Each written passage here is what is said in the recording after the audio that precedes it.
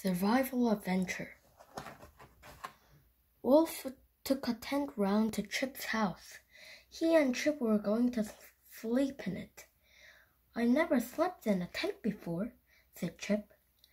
I wonder what it will be like. It'll be fun, said Wilf, but we'll need a survival kit.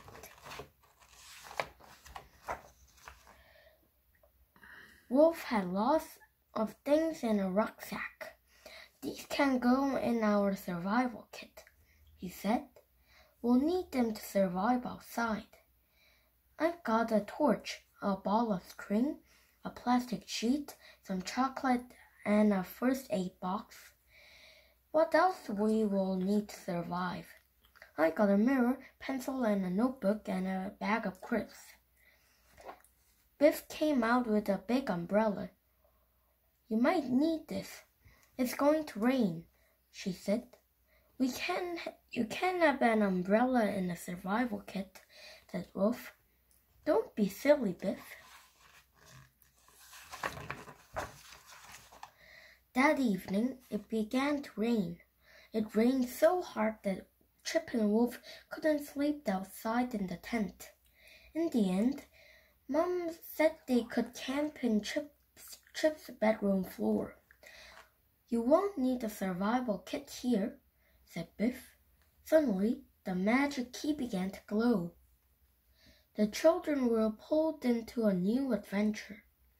This is going to be a survival adventure, said Biff. I'm taking the umbrella. You won't need an umbrella on a survival adventure, shouted Chip. Don't be silly.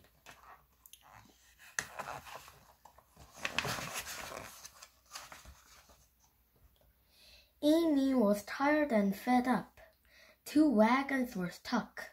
They had been stuck for two days. Amy's family was on a long journey. They were going to a new land. They were taking everything in the wagon. They had come a long way and they had a long way to go. Stay close to the wagon train, said Amy's father. Don't wander up. It's easy to get lost in the woods. Amy didn't listen to her father. I'll go and pick some wild berries, she thought. If I don't go so far, I won't get lost. Amy found lots of blueberries in the wood, but she didn't stay close to the wagon train. She just went on and on. I must get back, she thought at last, but she couldn't find her way. All the trees looking the same. Oh no, I'm lost, she thought. Amy was frightened. She didn't know which way to go. Suddenly, something closed on her foot. It was a trap, and she couldn't get it off. Help! Help! shouted Amy. Help me, somebody! But Amy was a long way from the wagon train and nobody could hear her. Little Fox was tired and fed up. He had been in the woods all day looking for honey, but he hadn't found any. Every time he found a tree with a bee's nest, the honey was gone. Now he was lost. Little Fox knew why there was no honey. There was a brown bear in the woods. The bear had taken all the honey.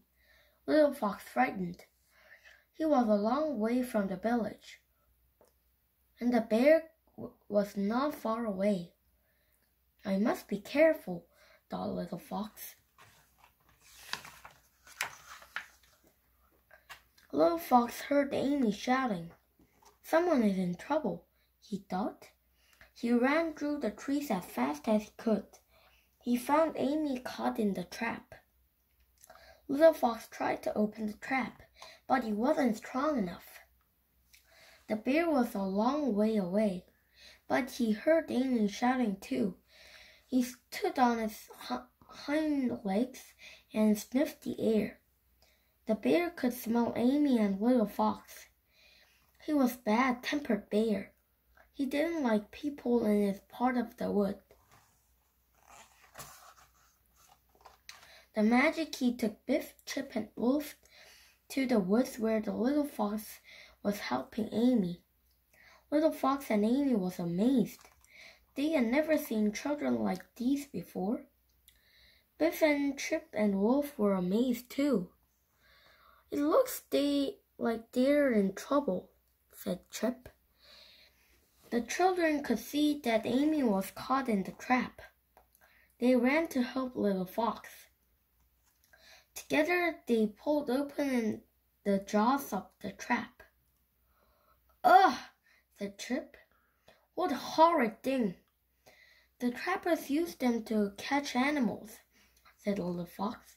Traps like these are cruel. The trap had hurt Amy's leg. Wilf put a bandage on it. Biff and Little Fox smashed the trap with a rock. It's a good idea to smash the trap, said Little Fox, but we shouldn't make this noise. The bear will hear us.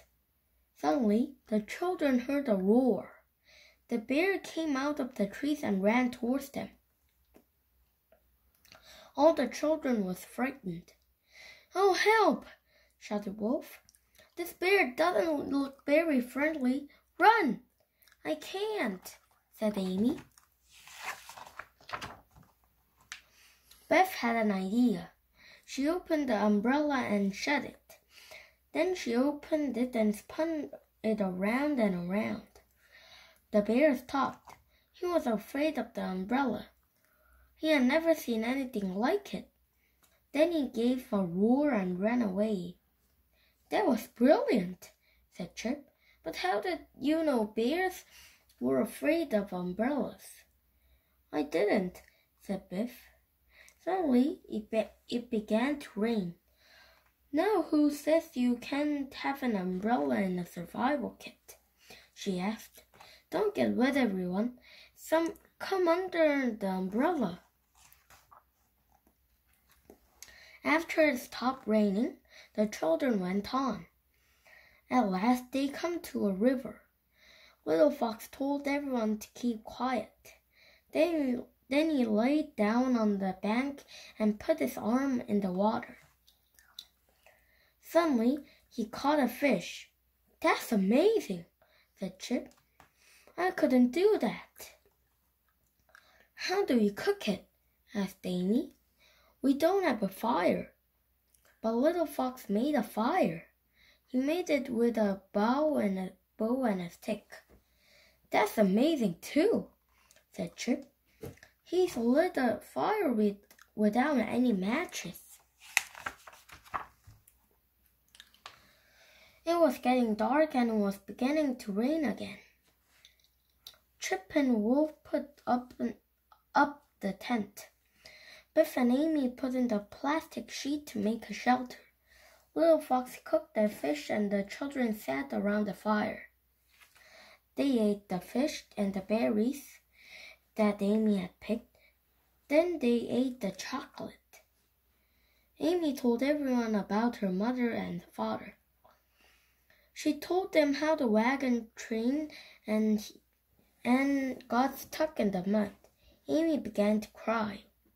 Maybe I'll never see my mother and father again, she said. Don't worry, said Wilf. We'll find them. Suddenly, Biff grabbed the umbrella and jumped to her feet. She ran aside and began to shout, Help! We, she called. We have been surrounded. Everyone jumped up. Biff, pun- Biff spun the umbrella round and round. Go away! Go away! she shouted. Little Fox laughed and laughed. Everyone laughed.